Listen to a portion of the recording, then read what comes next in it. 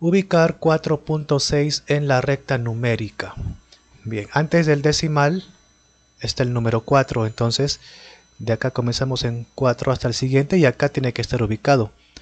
Entonces, ahora vemos lo que está después del decimal. Siempre que sea un solo número, o sea, una sola cifra, tendremos que dividir este intervalo en 10 partes iguales. ¿Cuántas rayitas debo colocar?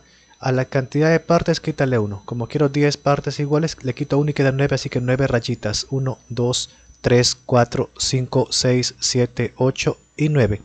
Aquí están los 10 espacios iguales. Ahora, del 4 voy a contar 6 de acá. 1, 2, 3, 4, 5 y 6 por acá.